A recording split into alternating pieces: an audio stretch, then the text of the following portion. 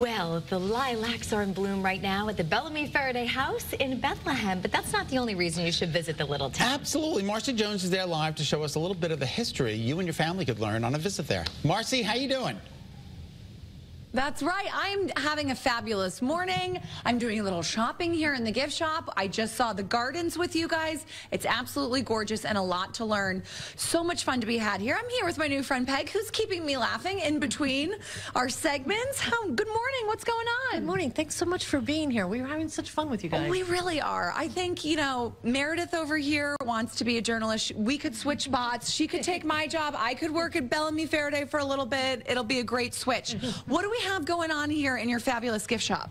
Well, um, obviously the books of Martha Hall Kelly um, Yes. are a very popular draw here. So we have all four of them.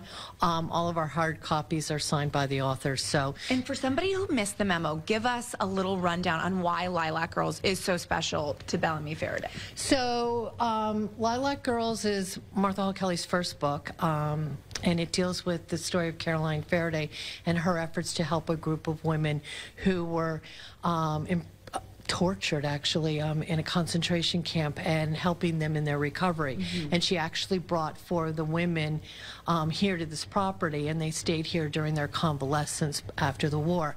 So it's a really moving story Yes. um, about women empowered strength. Um, it's very inspirational.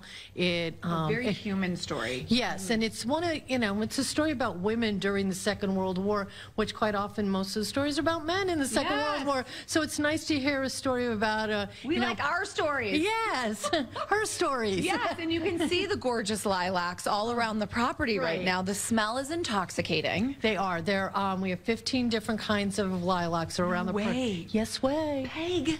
15 I different. only saw one varietal outside. We gotta go. That's incredible. So there are 15 different kinds of lilacs. They're absolutely gorgeous. They typically bloom um, mid-May, Mm-hmm. so we're kind of winding down, but that's okay if you miss the lilacs this year. Come back next year, Yes. but show up. The roses are just starting. Um, and, and those were Caroline's favorites. You said? Caroline's passion was roses. Um, and then, of course, we have this stunning peony collection that um, there is no word to describe. I know. You just, big and beautiful. yeah, They look like they're laughing because they're so much more gorgeous than all of us. They're, yeah, they're stunning, um, unbelievable. So do come and see the peonies. And of course, the garden is constantly changing. It I know, I love that. It's a four-season garden. The formal parterre. You know, there's a lot of plants in there that you don't see elsewhere. Right. So even if you've come before, come again because something inevitably has changed. Right. Let's show um, a few other of the gorgeous items that you have out here. You've got something for everyone. Yes, um, we have um, we have a lot of books about um, obviously Gardening, gardening. We yeah. have books about um, other books about World War II. The um, Martha's other um, stories, Lost Roses, Sunflower Sisters, which take us back into Caroline's Mm-hmm. family in um, another ge- another generation. Fantastic. We also have these gorgeous stationery.